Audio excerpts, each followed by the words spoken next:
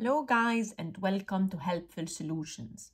And in this tutorial, I'm going to show you how to kaleidoscope in Procreate. The first thing that you need to do is to open the Procreate app and open a new design that is a complete blank canvas. What do I mean by kaleidoscope? It is the idea of having a repeated design that is actually giving a special effect when you are drawing. So it's a special type of drawing that has a repeated symmetrical effect. You can easily do this in Procreate by clicking over here, ensure that you have drawing guide turned on, and then click on edit drawing guide. And then you can actually choose whatever drawing guide that you want. And over here, I'm going to choose symmetry.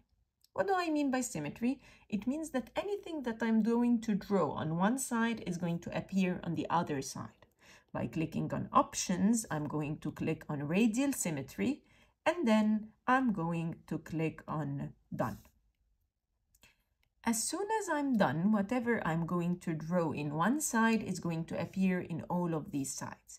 To make a kaleidoscope, you can actually do whatever you want. So let's say you are going to keep on making these special designs using different colors and using different brushes until you get your desired kaleidoscope effect. So over here, I'm going to keep on drawing. And as you can see, whatever I draw is repeated everywhere in my design until I create the kaleidoscope.